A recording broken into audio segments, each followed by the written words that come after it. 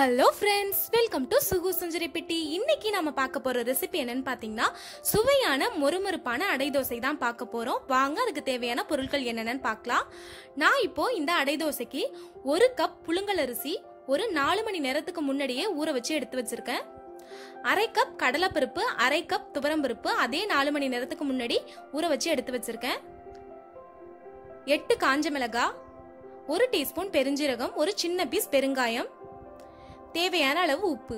பொடியா நறுக்கிய வெங்காயம் கருவேப்பிலை கொத்தமல்லி கால் மூடி தேங்காய் கால் டீஸ்பூன் மஞ்சள் தூள் தேவையான அளவு எண்ணெய்.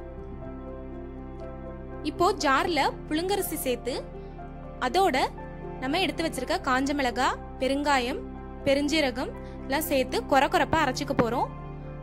அதே ஜார்ல கடலப்பருப்பு துவரம்பருப்பு உப்பு சேர்த்து நம்ம அரைச்சிக்கலாம். இப்போ ஜார்ல நான் இப்போ அரிசியை வடிகட்டிட்டு அதோட நான் சொன்ன பொருட்களை எல்லாம் உப்பு சேர்த்து அரைச்சிக்க போறேன். இப்போ கொர கொரப்பா அரைச்சாச்சு. நம்ம அடைக்கி எப்பொழுதுமே அரிசி வந்து கொர கொரப்பா தான் அரைக்கணும். அப்பதான் நல்லா கிறிஸ்பியா மொறு மொறுன்னு இருக்கும். இதுதான் இதுக்கு டேஸ்ட் கொடுக்கறதே. இப்போ இதை ஒரு பவுலுக்கு மாத்திடலாம். மாத்திட்டு இந்த கடலப்பருப்பும் துவரம்பருப்பும் நம்ம நல்லா ஸ்மூத் பேஸ்டா அரைச்சு எடுத்துக்கலாம்.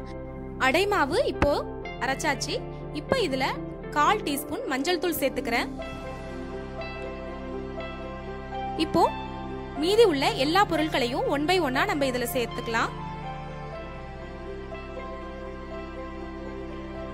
இப்ப எல்லாத்தையும் சேர்த்தாச்சு.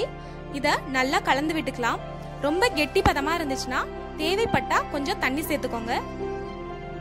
இப்ப நம்மளோட அடைமாவு நல்லா கெட்டியா ரெடி ஆயிடுச்சு. இதுதான் இதுக்கு பதம். இப்போ நம்ம அடை ஊத்தி எடுத்துடலாம். இப்போ கல் நல்லா சூடாயிடுச்சு. இப்போ அடை ஊத்தலாம்.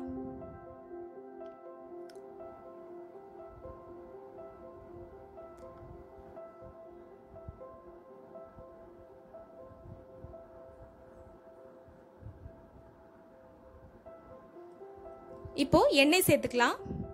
அடைக்கு எப்பவுமே கொஞ்சம் கூடுதலாக எண்ணெய் சேர்த்து சுட்டோம்னா நல்லா மொறுமொறுப்பாக இருக்கும். அடையில் நடுவில் ஒரு சிறிய ஹோல் போட்டோம்னா நம்ம ஊற்றிருக்க எண்ணெய் எல்லா இடத்துலையும் ப- பரவி நல்லா மொறுமொறுப்பாக வேகும். இப்போ நல்லா அடிபாகம் வெந்துருச்சு இதை திருப்பி போட்டுக்கலாம்.